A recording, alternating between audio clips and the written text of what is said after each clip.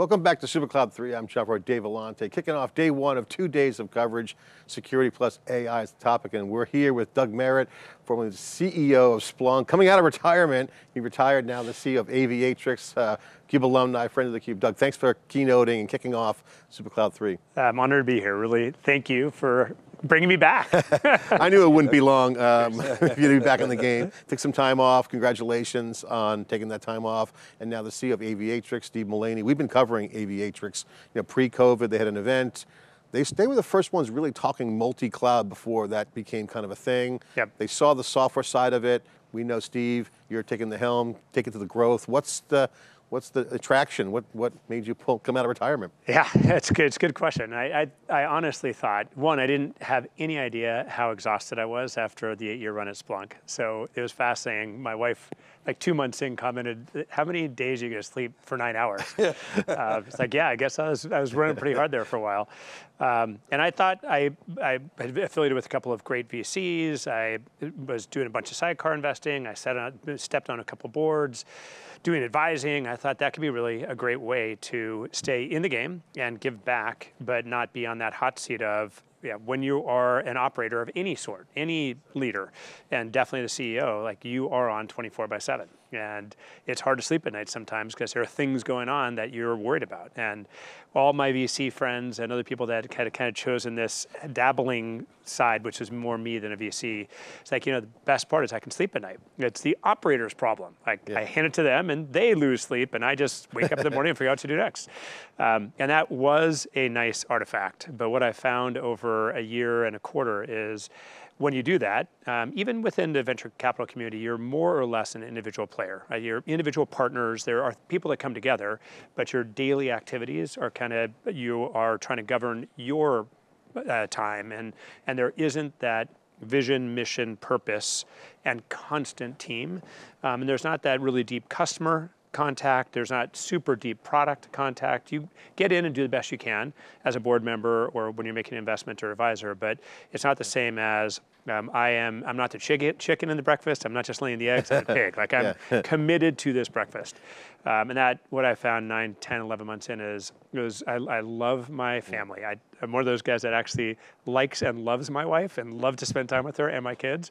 But yeah. I just, I really missed being on the field and being part of a team sport. And you got a great um, run there at Splunk, obviously went public and all the great success, data, now security and multi-cloud, aviatrix, growing company. So it's somewhat pressure cooker, but not too, you know, you're going to ride that, grow that. So it's early pretty much for the company. Yeah, being a private company is great. That was one of my criteria. Is it'd be nice to start private and see if we can take take the company public. Um, but a, a, lot of so when I decided, okay, let, I, I, should jump back in. Like I, I, miss being part of the team. Then the criteria of what kind of team you're to join becomes really important. Um, and Steve and I have known each other for know, probably 10, 15 years. Um, he was he spent a lot of time in Los Gatos. That's where I lived before moving to Austin a few years ago. Um, and watching his career journey, especially when it comes to networking, uh, he's been uh, uh, really, really good at picking up trends way before they become uh, successful, including Nicira, and obviously that really successful acquisition with VMware. Um, so knowing the team and understanding the category that they're going after is certain, certainly important. Um, I've learned that, that being really close to the board and having a great relationship with the board is super important as well. And two of the board members at Aviatrix um, were early board members of Splunk. And I'd spent time with them before becoming CEO and then post CEO in that role. So um, my my outside in, uh, Steve had raised his hand and said, okay, I'm, I'm the zero to 100 million guy, um, and this is now getting, getting close to 100 million, and maybe it's time for somebody else. Um, and they crafted a list, and according to Steve and the board members, I was top of the list. It was apparently shortly after my, uh, my, my uh, jump from Splunk. Um, and so when they approached a few months ago, it, and I dove in, mm. this has a lot of those characteristics of Splunk. Um, it's a, a, little bit early on the trend, multi-cloud networking, you know, obviously a super cloud event. It's incredibly important, I think, for every business out there. The last data I saw, 83% of major organizations have got a multi-cloud strategy. They, they want to be multi-cloud. Mm -hmm. But the reality for most of us is you started in a cloud and you're porting a lot of last generation workloads that really aren't cloud native to that cloud that you were in. And maybe through acquisitions or experimentation, you're a couple of clouds, but you don't really have a mesh across the clouds where you've got uh, workloads seamlessly traversing not just multi clouds, but now we've got intelligent edge and um, and and Aviatrix saw this back 2014, 15, 16, um, and has made those investments to actually be there. I think it was ahead of the, the, the, game here. I remember in 2021, we were up on the stage at AWS reInvent, and one of your investors, your early investors, was sitting down there, and uh, Mullaney and, and I were up on stage. I don't know if you were there. And, and the investor said, it's happening. And Mullaney said, it's happening. I said, what's happening? And, and we had coined this term super cloud, and that's what's happening. But to your point, Doug, it's not like somebody wakes up and says, oh, I got to buy a super cloud. It's not a, a, product, right? Right. It's an architecture. It's a sort of maybe a philosophy. And so now you got to get into solutions that actually solve problems, which is, I presume, where you're spending a lot of your time and thought. Yeah. That the what it, one of the characteristics of Splunk I loved is I called it a blue collar culture. That back when they created the index and tried to optimize logs, no one even thought the logs were worth that much. Um, and it, and to really get to petabyte scale with that data, it's just a lot of hard roll up your sleeve and do plumbing, non-glorious plumbing work, because these things have to work. And networking is that same way. Like it is a very difficult category to do well. You're at ring zero. If the network goes down, all this great stuff we talk about. Seamless applications, real-time customer communication, employee empowerment just goes away. Like you, you, cannot operate your business. So very hard to do. You have to roll up your sleeves and really understand the domain um, and be super diligent in doing it effectively. Um, and when I look at this multi-cloud piece, like we would love to have the ability, the clouds continue to do a good job of differentiate them, differentiating themselves on what kind of workloads are they optimized for. And all of them want to say, hey, we can do anything, yeah. but it's hard. You've got to make investments from networking and silicon all the way up to optimize different workloads. And if we, if this pattern looks like any of the past thousands of patterns in mm-hmm. tech, yeah. there will be, you have to uh, to be effective, to effectively address the needs of your organization, you're going to wisely choose to develop different apps and different workloads uh, where they'll operate best, which will likely be different clouds. So, yeah. one of the things we were talking about SuperCloud, I'd love to get your thoughts because you know, being at Splunk, you had the, you saw the data evolution and revolution there. It continues. That's the constant theme in our SuperCloud narrative is data in all aspects. This is security plus AI for this topic in SuperCloud 3, but network plays a big role in, in security data and networking are the two kind of areas you see a lot of action around security, whether it's built in as a platform or a tool or tracking packets. Um, so networking across multiple environments is a huge deal. That's what you guys are doing at Aviatrix. What's the role of data in this too? Because you can bring that data perspective. I'd love to get your thoughts and reaction to data and security and, and networking. Yeah, I, I, think data, as you guys have talked about and, and we're all witnessing, is the, the fuel for what's really going to make um, effective AI work. Like you need enough elements to train these different algorithms and to start to get more proactive and, and intelligent approaches to what should be doing whatever domain that you're in. Um, for us in networking, the data that we care a lot about is what's happening with the network. Uh, how do we make the network more resilient? How do we make it more secure? How do we optimize traffic flows? Um, and again, if you look at these multi-cloud environments, if you look at the network services from any cloud provider, they're still relatively immature, and you know they'll continue to progress them. Our job is to stay ahead of those within each one of those clouds. Um, but when you go multi-cloud, it gets really difficult. So trying to provide that intelligence, that resiliency, that um, adaptability, the high security across these clouds is, is a difficult challenge. Um, in addition, you know, trying to protect the data sources that live at, at so when I look at tech, it's all about layers. I, mm -hmm. It's hard for the networking vendors to jump up to be data plane providers. We've got a data plane to transmit networking data across the network, but yeah, when you look at Snowflake or Splunk or uh, Databricks, they've got more of a data plane. How do I curate mm -hmm. data that's that people are going to take advantage of in whatever use case? Applications plane is very different. Um, compute, the compute layer is different. So sticking within that layer is where people tend to really get lots of momentum. Um, and uh, enabling that network to ensure that at least for the network traffic, you've got understanding of what is beginning to, who is touching your data, what uh, uh, were they potentially taking that data. Mm -hmm. um, we do have deep packet inspection capabilities. So there's some interesting things that we can actually infer Mm-hmm. from that networking layer that stops at a certain layer. Right? You need to partner with the data players. You need to partner with the uh, different uh, application vendors to bring so you can bring a whole picture on what's happening with the capabilities and also the security posture across the system. So you've got this cross-cloud com- complexity. So thinking about AI, what were you doing with AI before uh, specifically, and how how has that changed? Has that changed your thinking with you know the AI heard around the world? Yeah, it's um, the large language model uh, lemming march. Like, like if, if you are a company today and you're not claiming to do something with LLMs, you're just in trouble because obviously everybody is. Um, but they do have a specific purpose, right? And, and, and we're still wrestling through what those what that purpose is as a as a as a world and how do you contain that purpose and keep humans safe and uh, there's like everything else barbells on joy and fear simultaneously. Um, within Aviatrix, uh, we're lucky enough to have an incredible development team, um, people that were in the MIT Media Lab back in the 80s and 90s when AI was the first burst. We were supposed to take over the world, and we are dealing with whole different um, vectors and, and algos and artifacts back then. Um, through Google engineers, Facebook engineers, Yahoo engineers, so really adapt with networking, really understand data, um, and then different machine learning and, and AI capabilities you could bring to networking. Um, and it's I, I, think like every other domain, LLMs will have a play in networking. Um, when you're trying to think about uh, understanding attack surfaces, that things that are more language oriented or can be translated to language, um, how do you optimize palace, policies across these very complex networks and be more proactive and resilient? Um, those types of things, I think LLMs, we're, we're, playing with everything that we can think of right now um, to see where across the different use cases we can, what, what types of AI we bring and where they're going to add the most value.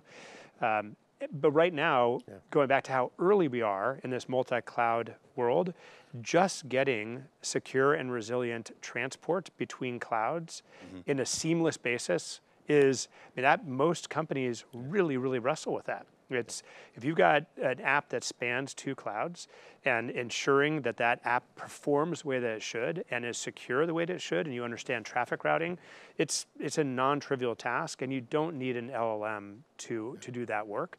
Um, you need an effective data plane and control plane, and uh, a way to both observe what's happening and invoke policy anywhere that that traffic flows across different clouds, across different edge providers, back to your uh, proprietary you know, old data centers, like data, data and networking is flowing everywhere. The so there's some AI in there. It's just not generative AI necessarily. It's yeah. I mean, I, I, I think uh, yes, there, there. I, I, think the world is still wrestling with or, or, or visualizing uh, how do I use LLMs, mm-hmm. um, and then as you guys know, the yeah choice of which LLM models to begin to use is off the charts, and the open source exploding world is it's moving so quickly. Um, it's vector, graph. I mean, it's just it's unbelievable. It's, it's interesting, you know, on the latency side, physics. Obviously, networking physics is everything. Latency is key when we talk to um, infrastructure folks, they're skeptics when it comes to AI. Oh, it's BS. But they, when they see configuration stuff that's yes. mundane, no brainer, that's automation, then it's not so much AI, but they see it playing there. But one area they do see hope and pros pros prospects is observability data. Mountains of data around telemetry. Um, you've been in that market. That's changing and growing. More and more data points coming in, whether Absolutely. it's network logs or network traffic patterns or application telemetry. Yep. I mean, everyone's hoarding data right now. I mean, yep. no one knows what to do yet, but how do you see that observability piece coming in? and that, and I mean, the interesting part is every layer of the tech stack has got observability. So there's a whole observability framework within Aviatrix, um, which is through our Copilot um, offering that's different than the way that Datadog would talk about observability. Like we, we use Datadog observability capability for our development team and for the applications that we roll out. Um, so we all have the opportunity to do a better job of uh, parsing through mountains of data to try and find the patterns that are existing with the way that our systems are behaving, whether we want them to and don't want them to. Um, and again, LLMs I think could do a, a really effective job, given a constrained data mm-hmm. set and the right training and the right guardrails around it, to um, both observe those patterns, but then to begin to iterate on the appropriate ways to tune and optimize what you're doing. And that's when I see where I think a lot of efficiency will be injected and cost structures might become significantly more advantageous to customers is the human component on that. Like, what data do I grab yeah. and what metric do I create and how do these metrics tie together and what alert do I then generate from that? That is, it's a very expensive human component. I need really thoughtful, talented folks, and they need to curate that entire data pipeline and what to do with that data. Um, I think LLMs can, like they are with with basic coding right now and basic uh, SEO uh, uh, material. I think it can really impact the speed, efficiency, and quality of that. I mean, that's one of those areas that we're looking at. So not so much necessarily taking action, but allowing humans to have you know curated data so that they can take the action. Yep, and then eventually probably taking some action too. but right now it's a little dangerous. yeah, I'd be nervous right now. I'm going to do this. You want me to do this? I like some checks and balances. like, well, well, Doug, not, great. Not going to bring down an app. Great to have you on here. Wait, wait, I got one question okay. before you break. Our editorial team leading up to SuperCloud 3 has been asking this question of a, a number of folks. And when I first heard it, I said, eh, it's kind of, but it's really an interesting question, the answers that we've been getting. So will AI ultimately be more beneficial to attackers or defenders? What would be your answer? Um, I think if we follow human behavior, I think the attackers are going to arm themselves more aggressively first. And I think it will propel the defenders to really, really up their game more quickly. And then I pray that it becomes more powerful to defenders over time. Yeah. Um, but it, we're, we're in another just crazy arms race, I think. Um, that just got compressed. Oh my gosh, yeah. it's the, the power is it, it's it's insane for the good and the bad. Yeah. Well, it's been great to see. I want to ask you one final question about Aviatrix, obviously coming out. You got you mentioned you want to have a vision and be part of a team, private company, so it's a little bit you know not as pressure packed. What is your vision for Aviatrix as you lead that team and grow that, take it to the next level? Okay, Steve took it to the 100 million mark. You're going to take it to public. That's the vision. But your vision, North Star, what's the Aviatrix uh, thinking? How do you see this playing out?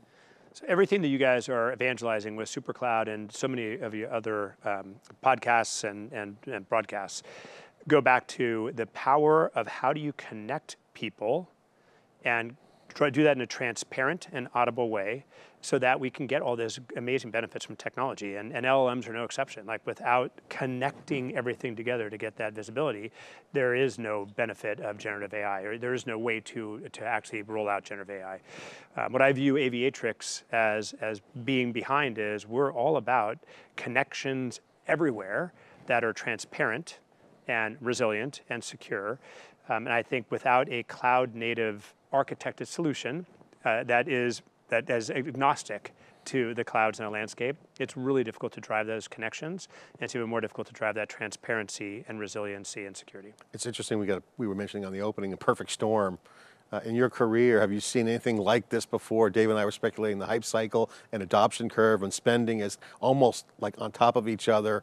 You're seeing the convergence of old, new, some have a tailwind, some have a headwind. It's interesting time. What's your, as, as a career tech per, uh, uh, leader, explain this moment in time? Um, the patterns are super similar, I think.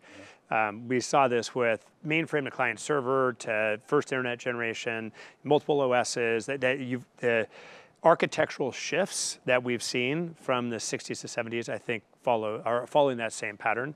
But I think the crazy part that you guys do such a good job of trying to capture is the compression of time. It's happening so quickly, and it's happening across all layers of the stack so quickly. And I think because things like LLMs tie together all these different, usually separate categories and separate motions because they're using the same basic GPT framework and the same language thinking to um, really blend how these categories would be isolated and move more slowly. That acceleration is is where I think most of us are sitting back. It's like where, like, how quick, what's going to happen next? Like, um, In fact, Jeff Jonas was on the uh, discussion with Dave on breaking analysis. He's former IBMer doing sensing, a big uh, start, a data startup. He was joking about the AI hype, saying companies are getting term sheets from VC, startups getting a term sheet from a VC before they get their money, their model's obsolete. And, and I and so, really joking. So, yeah, I know, I, I know. I bet he's. Well, you're seeing open. You're seeing open source. I mean, the, the, the the scale You know what else too? There, you're talking about the layers, and you go back to the 80s and 90s. That's when you know the mainframe blew apart, and the, the industry competition started to occur along layers, whether it was Intel and semiconductors, Seagate and disk drives, or whatever. Yep. Database, Oracle. That old ISO seven-layer model. It- it- That- right, still exists to, a- to a uh, degree. But there was some thinking that cloud would change that, that things would become more consolidated. But it seems like LLMs and AI are going to increase the granularity of the stack. Do you buy that? Oh, 100%. Even- cloud solving that, like we've been told that in every generation. Yeah. Clouds make it significantly more complex. Like the, the, the beauty of Amazon and, and Microsoft and Google, as just three of the cloud vendors, is they are so efficient that they've now generated hundreds of unique services. Every service has their own API calls. They've got their own uh, abstraction layers. They're trying to, to manage those, and they're all different across every cloud. So what I've seen with every generation is it gets more complex because we're getting more refined. You know, why does DB Engines track 27 different database categories today? When I started, there was hier- hierarchical, network, and relational, and that was it. was and boring. relational was the new the new thing that was going to solve the world.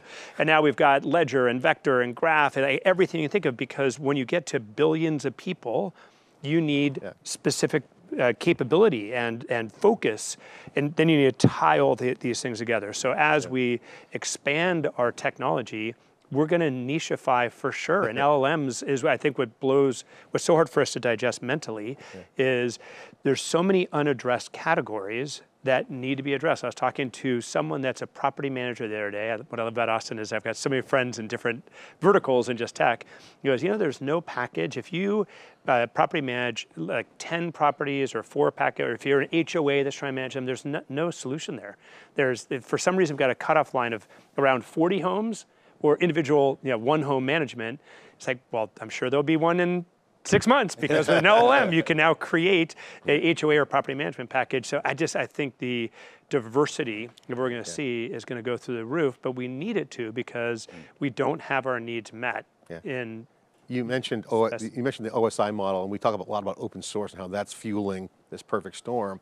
Um, and the OSI model was the Open Systems Interconnect that created that seven layers. TCP/IP was a key aspect of that. Absolutely. And that, that broke down. Remember when we were breaking in the business, IBM had SNA, Network Operating System. Yep. DEC had DECnet. DECnet. It blew it And all these away. were proprietary NOSes, or network operating systems. And that was the, their proprietary vendor. We kind of sometimes say, you got the cloud, AWS has its own stack, Azure has its own stack. So is the super cloud OSI model coming? Yeah. Where open has to happen. It, I think it has to happen. That's as a, and again, it depends where a corporation is today. Uh, with Splunk, we were majority in AWS on purpose. Like we need a reference operating system, which the clouds are, to, to develop our stuff against. If we're going to move everything to the cloud and break it apart, and and we just can't do it simultaneously across three. And I see so many companies there. So within that world, maybe you can just use the native cloud services, uh, n- native networking cloud services these folks have. But there's still a pretty big gap Yeah. that from on what they're providing as far as uh, transparency and remediation. And so I, you know, we're trying to add value there as, as Aviatrix, but these it's so different across these different clouds. But as a company, I, I can't, uh, it, for me to spend all of my energy on parsing and identifying how to be a super cloud provider or how to take advantage of a super cloud, I, they need to spend time on features and functions and what to do with LLMs to serve their customers better. And, and I don't think that that networking layer is where most of them will get most of their value as a you know, large IT shop or And maybe. SuperCloud too, we had Walmart on. Yeah, they can afford to do it. We had Uber on a breaking analysis. They can afford to do it, Yeah. but most companies can't. Yeah, and I think IT is going to have to has to move to the, this cloud secure model of AI. And I think you know, we call it the super stack. Uh, you got supercomputing, the physical layer.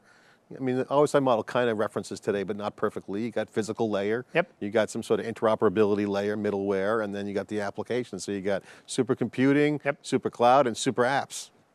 Absolutely. That's going to be. We see that, and and uh, how do you prepare? How's the company prepare today? I mean, Main Street IT that doesn't have the Uber staff. Is it managed services? How do companies compete, knowing that the attackers are coming? Absolutely. AI is coming. You got a surge of AI, new capabilities. You got attackers. How does a, how does a normal company compete? It, it would be very, very difficult. And I, I think you wind up turning to trusted vendors Oh, yeah. to do lower layers in your delivery so that you can focus on the upper layers to serve your customers and help your employee base be effective and manage your partners and the stuff that really matters to drive the P&L. Um, Awesome. So- Well, Doug, thanks for coming on and, and keynoting our SuperCloud 3. Great, to to see see you. you. I'm honored. Back in the game, back in the arena, as they say, with Aviatrix. Put a quick plug in for Aviatrix. we've got 30 seconds. uh, for for all of you out there that are seriously trying to develop mission critical workloads in any cloud and are beginning to think about how do I not be held hostage with one cloud and they're they're awesome vendors but but you need to be diversified look up aviatrix where we will help you on the network optimization side and the different corollaries around that Awesome. Doug Merritt here on SuperCloud. I'm Jeffrey Dave Vellante. Stay with more coverage. We've got a great agenda today. We'll be right back with our next guest.